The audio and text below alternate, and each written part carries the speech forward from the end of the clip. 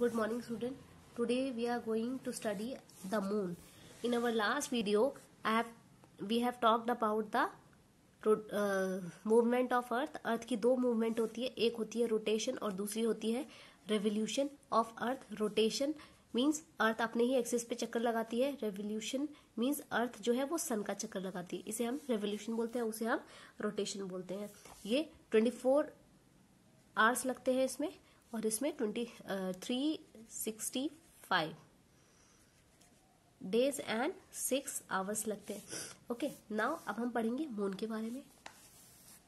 A heavenly body that revolve around a planet is called satellite कोई भी बहुत ही heavy body अगर वो प्लैनेट के चारों तरफ़ चक्कर लगाए तो उसे हम क्या बोलते हैं? सैटेलाइट बोलते हैं। The moon is the only natural satellite of the earth moon ही अकेली एक अर्थ की सैटेलाइट है। अर्थ के चारों तरफ़ सिर्फ़ मून चक्कर लगाता है। जैसे अर्थ सन के चारों तरफ़ चक्कर लगाता है, वैसे ही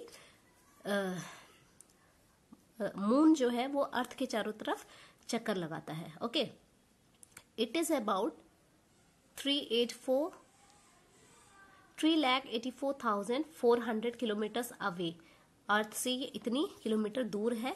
From the earth it takes about 27.3 days to complete one rotation एक रोटेशन कंप्लीट करने में 27.3 डेज़ लगते हैं, यानी कि एक महीना लगता है एक रोटेशन को कंप्लीट करने में। ठीक है? As well as revolution around the earth revolution और रोटेशन अर्थ की जब मून को कंप्लीट करनी होगी तो उसमें 27.3 डेज़ लगते हैं, यानी कि एक महीना लगता है। ठीक है? The moon does not have any light on its own moon के पास भी अपनी खुद की कोई लाइट नहीं होती। मैंने आपको बताया था, कुछ प्लैनेट भी होते हैं जिनके पास खुद की लाइट नहीं होती, उनके ऊपर लाइट किसकी पड़ती है? सन की लाइट पड़ती है, और वही रिफ्लेक्ट होती है okay it reflect the light of sun तो मून भी लाइट सन की लाइट को ही रिफ्लेक्ट करता है, उसके खुद के पास अपनी लाइट नहीं होती है। आपने ल्यूमिनस और नॉन ल्यूमिनस ऑब्जेक्ट्स में ये पढ़ा है कि जो सन है, वो एक ल्यूमिनस ऑब्जेक्ट है वाइल मून जो है, वो नॉन ल्यूमिनस है, क्योंकि उसके पास खुद की लाइट नहीं होती। And sun and we call it moon light इसी को हम क्या बोलते हैं? मून लाइट बोलते हैं। There are huge hole on the surface of the moon moon की सरफेस पे बहुत सारे होल हैं। ये डायग्राम आप देख रहे हैं। इस पिक्चर में आपको दिख रहा होगा, ये मून की सरफेस है। यहाँ पे बहुत बड़े बड़े आपको गड्ढे दिख रहे हैं ना? इन्हीं को हम क्या बोलते हैं? क्रेटर्स बोलते हैं। दीज आर कॉल्ड क्रेटर्स इन्हीं को हम क्या बोलते हैं? Craters there is no air on the moon moon पर बिल्कुल भी एयर नहीं है। इसीलिए मून पर आप ज़िंदा नहीं रह सकते, क्योंकि वहाँ पर एयर नहीं है। ओके नाउ अब हम पढ़ेंगे फ्रेजेस ऑफ़ मून अच्छा कभी आप आसमान में मून को देखते हो रात में? अगर नहीं देखते हो तो प्लीज़ आप जाइए और मून को देखिए रात में। मून डिफरेंट डिफरेंट शेप में आपको दिखाई देगा। कभी वो आधा मून दिखाई पड़ेगा, कभी वो पूरा दिखाई पड़ेगा, है ना? कभी वो ईद के चाँद की जैसे दिखाई पड़ेगा। अलग अलग टाइप मून जो है अपनी शेप चेंज करता है। सन अपनी शेप बिल्कुल भी चेंज नहीं करता है। Every night the shape of moon is different हर रात को मून की शेप जो है वो बिल्कुल डिफरेंट रहती है। However the moon does not really change its shape जबकि मून अपनी शेप को चेंज नहीं करता, फिर वो हमें डिफरेंट क्यों दिखती है? Due to revolution of moon around the earth revolution moon जो है, वो अर्थ के चारों तरफ़ घूमता है, जिसकी वजह से वो हमें डिफरेंट डिफरेंट शेप में दिखाई देता है। The moon appear to change it shape जिसकी वजह से हमें ऐसे लगता है कि मून ने अपनी शेप को चेंज किया है। The day to day changes in the shape of moon as seen from the earth are called phases of moon ये जो डे टू डे चेंज होता है मून की शेप में, जिस जो हमें अर्थ से दिखाई पड़ता है, इसी को हम क्या बोलते हैं? फेजेस ऑफ़ मून बोलते हैं। We see the portion of the moon that is lighten due to sunlight हमें वो पोर्शन दिखाई पड़ता है जो कि सनलाइट की वजह से उजाला दे रहा होता है, सिर्फ़ हमें वही पोर्शन दिखाई पड़ता है बाकी पोर्शन हमें नहीं दिखाई पड़ता।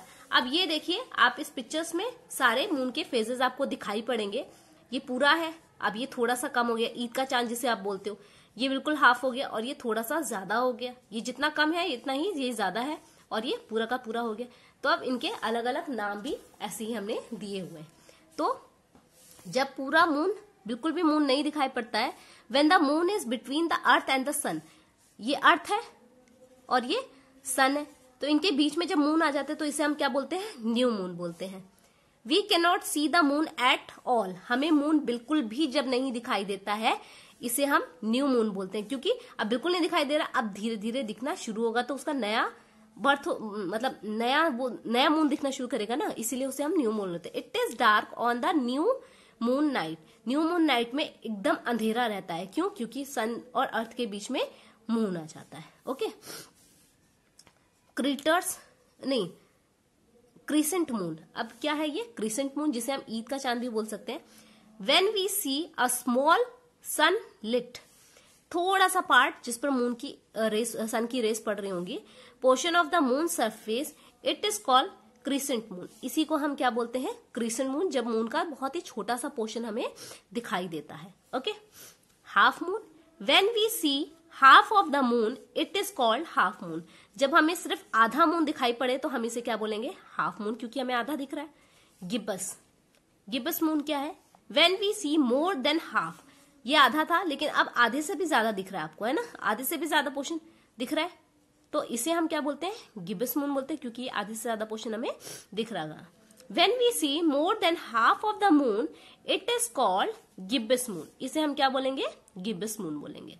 Now full moon when we see complete moon जब हमें पूरा का पूरा मून दिखाई पड़ेगा, है ना? फुल दिख रहा है ना आपको?